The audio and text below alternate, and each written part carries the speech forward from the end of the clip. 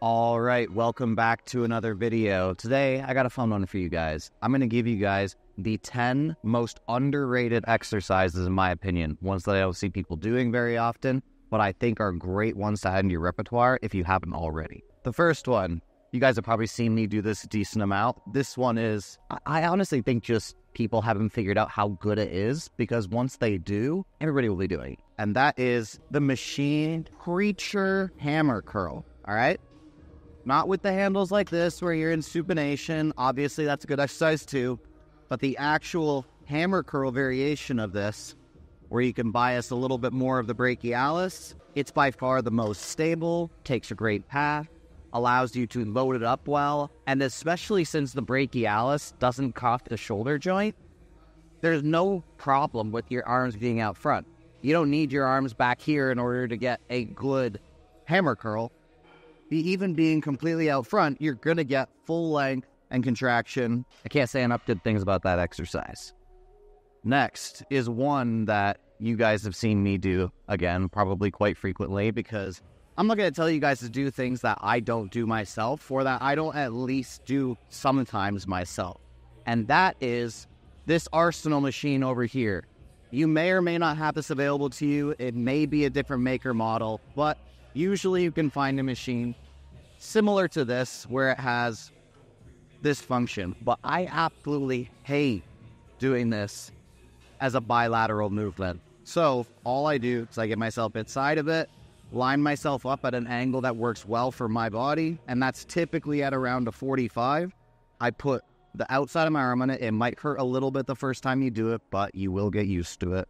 And then you can just take and do a perfect side raise out to here. Now, if you need to be a little bit more this way, you need to be a little bit more this way, it's up to you. But all in all, you're going to have good tension throughout the entire movement. You can do the bottom portion if you want. You can do the top end if you want. You can do all of it. But that is my favorite side delt exercise in existence. So to not include it in this list would be terrible. All right, next one we got up on the list is prison pull ups. Now, you don't know what I mean by that? Just think of any m- movie that you've ever seen of a guy who's jacked in prison doing pull ups. How do they typically do it? What they do is they take and they get up here and they do this, right? You don't see them doing this, going all the way down and coming all the way back up. Not that there's anything wrong with that, but staying in this upper range where the lats have a bit more leverage and pumping out, I absolutely love that exercise for the lats. Now, if you have one where you can take and put your head between the bar, even better. If you have an assist on it so that you don't have any stability requirements whatsoever, even better. But all in all, it's this portion of the movement that we're after. We're just up a little bit, pull back down through. Very underrated exercise, in my opinion. And if anybody tells you that's not full range of motion, tell them to shut up. And for this one, I'm going to cheat a little bit because I don't have the machinery available to me that I want to, but I'm going to talk through a concept. And that concept is toe pressing, right? So typically, when people get on a machine, they figure out where their ankles have enough flexibility that they can actually keep flat footed and they press from there, and that's the depth they get. But then, as long as you have multiple points of contact, you can take and press from the toes pretty reasonably. If you wanted to show here, oh, you got the nice South Park socks going on. But just because my heels can't touch the platform does not mean that I'm not fairly stable and getting a good press out of this. Would it be more ideal if my heels had something under it? Probably.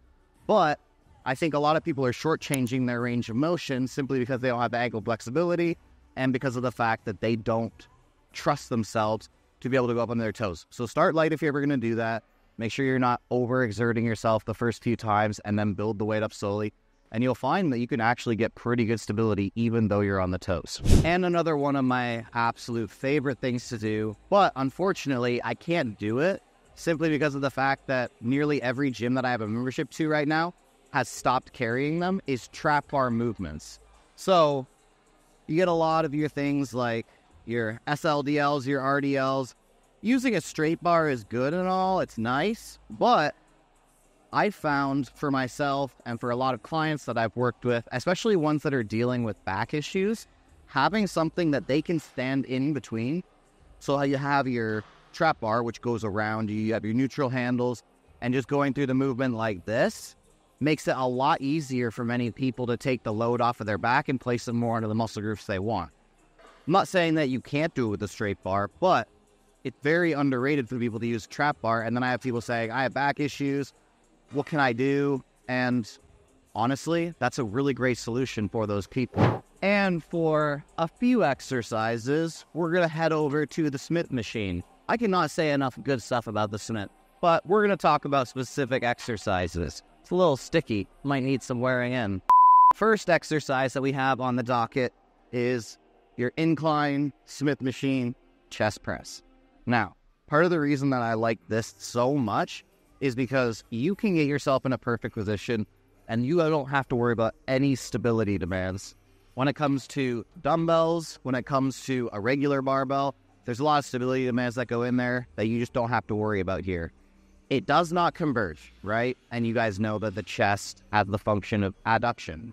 But I would say for all of the other factors that it has going for it, it is still well worth it to use this over a poor machine that converges or even dumbbells. I've messed that up. I should have said for dumbbells or even a poor machine that converges. For some reason, I'm not really sure why. Maybe it's because people just have other options that they enjoy. But I have found that not enough people have realized that this actually works really, really well for a flat press too. It's like they'll do an incline press, but they refuse to do a flat press on here. It's like, oh no, I can't go that far with the Smith machine. But it is fantastic. It allows you to set up perfectly. You can take, you can bring your elbows exactly where you need to, figure out your positioning. And once you do, this motion right here is fantastic. Now, you might argue, okay, I can't get enough depth, but I find that people are getting far too much depth on their presses as is and really taking away from their abilities to move heavy weight. They're so focused on a stretch that they don't actually move heavy load. I'm not saying that you shouldn't get full length, you should, but some people go beyond that and they start to place everything on the shoulders rather than actually worrying about what their chest is doing. And our last exercise is one that you guys have probably seen me do again. And this is the one that when you do it on live, people are going to make fun of you. It just is what it is. There's nothing you can do about it. People are going to talk about the fact that you have zero range of motion, but the range of motion is supposed to be small. And that is your Kelso shrug. Now, there's a lot of different ways you can do this with the angle of the bench, but because of this thing right here, I wouldn't be able to face the other way while doing it. So I'm just going to show you a nice, simple way of doing. So you just take, allow your shoulders to protract, pull up through. And if you get good at these, you are going to get some really gnarly trap development. And all in all, the stability, the path that it takes, everything about this is probably I don't want to I don't want to ruffle any feathers, but in my opinion, this will probably be a better trap developer than your standing straight up and down shrugs. I could be wrong, and I'm more than willing to admit that that is a possibility, but I'd like to see some longitudinal hypertrophy data on that topic. Unfortunately, we're very limited in that area. So, those are my 10 exercises that I think not enough people are doing that should be incorporating it. Stick around because next time we're going to give you the top most overutilized and overrated exercises and they might surprise you. There might be a few in there that you're doing that might not be the best, but we'll see. TNF out.